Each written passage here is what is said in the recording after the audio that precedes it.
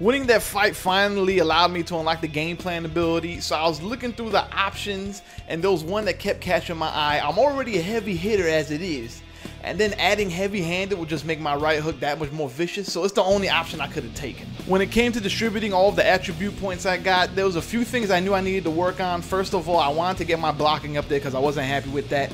I wanted to be able to get my punches out there faster, I needed to add some more power just for my own sake. I want that right hook to stay devastating, up my takedown defense, my body health, and my chin health to make sure no one can knock me out. I also decided to change to a more over-the-top looping right hook to hopefully go over some blocks and come down on the temple a little bit harder and make knockouts that much more devastating. And finally, I wanted to add a little bit more on my side in terms of the mental edge. So I went back to the original pink Valetudo trunks, the nut huggers that just display my ball jolt so nicely. I mean, if you're gonna take me down, you're gonna have these rubbing all over you. And do you want this rubbing all over you? Look at it. I don't think you do. So you better not take me down. After I was done in the wardrobe department and got another message from Joe Silva, my next fight had been set up. It was Luis Rodriguez. He was another puncher, another tall puncher, and undefeated. It's to be a hard fight. The next thing I know, the blink of an eye, it was fight night. Let's get right to it.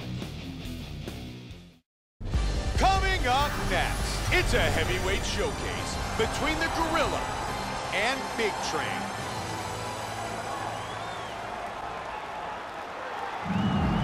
Ladies and gentlemen, this fight is three rounds in the UFC heavyweight division. Introducing first, fighting out of the blue corner.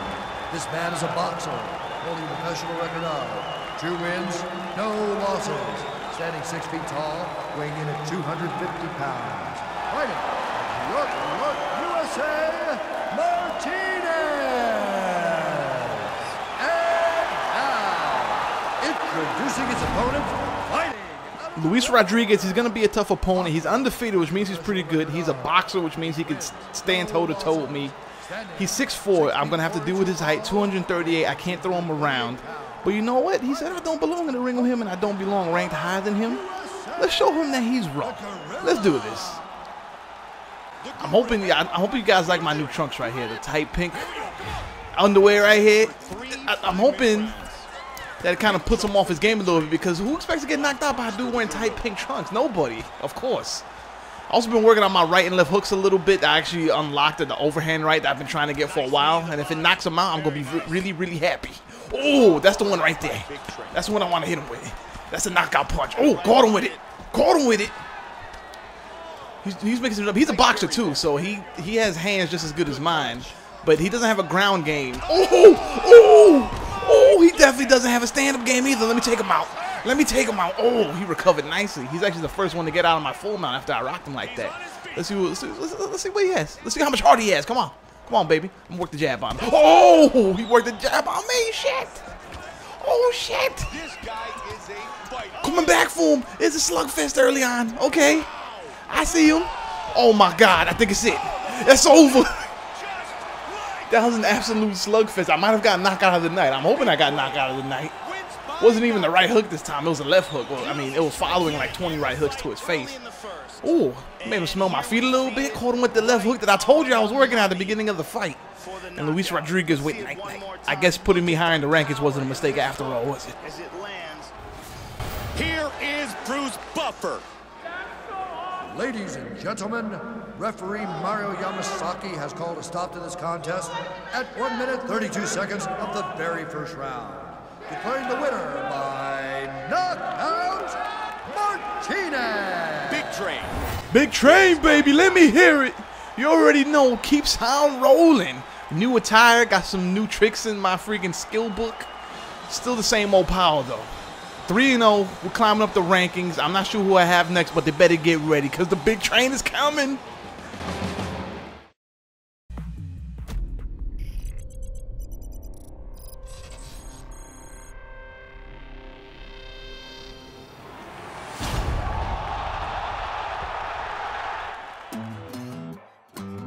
Perfect when is to knock someone out. There are times when I see the opening right before it happens, and I know this is going to be the end of it.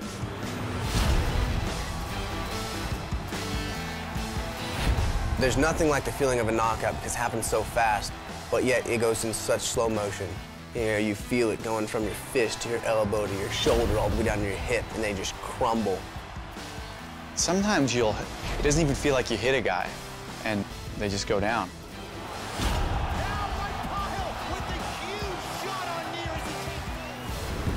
I punched him, it felt like a pillow, it really did. And he's bending over backwards. All of a sudden the cage is shaking, it feels like an earthquake and everybody's yelling and screaming and it was pretty amazing. I think that's that's in our DNA. I think every man wants to be dominant when it comes to being able to perform in a fight.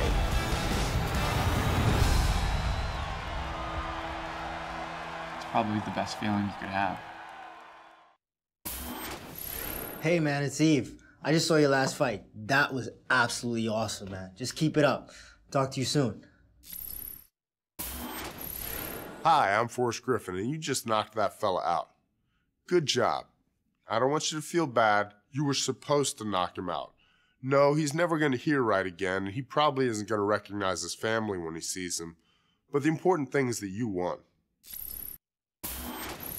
Hi, I'm Forrest Griffin, and that's an incredible winning streak. I've never done anything like that. You, therefore, are better than me. Congratulations. See, I appreciated the kind words from Forrest Griffin, but I'm really not sure why he needed to introduce himself twice and send me two different messages for something he could have said in just one long message. But you know what? I didn't have time to worry about that. My next fight was set up. It was Mikhail Smirnov, and it was about three weeks away. I went back into the abilities and I unlocked a new game plan option. I added stop hitter just so my punches would be a little bit more devastating and have a better chance to wobble someone. And then we decided to go back to the gym and maybe add a couple of more techniques to my game. Worked on some takedowns, worked on some kicks, worked on some knees. We'll see if I have to implement them, but right now it's fight night again, and it's time to show everyone that Big Train isn't a flash in the pan. Let's do this. Coming up next, this may very well be a stand-up war between Primetime and Big Train. See, I'm starting to think that Joe Silva, when he emails me to tell me what the next matchup is, he just makes up some bullshit about the other fighter insulting me because, you know what, I come home, I sleep, I wake up in the morning, I train, I don't say anything to anybody. I'm just a humble guy. I just like fighting, I like training, I, I really love eating. I never said anybody, anything about anybody, yet apparently this Mr. Mikhail Smirnov here, he's been talking crap because he thinks that I'm too low of a rank to be matched up with him in the ring. I'm not sure if he really said that, if Joe Silva's just trying to get me riled up, but it worked. Because uh, I'll just let you know that if he thinks that I'm not good enough to match up with him in the ring, then I hope he has plenty of his namesake at home. Because he's going to have to drink away his pain tonight. The good thing, you see, he's 8 2 0. It's a good record.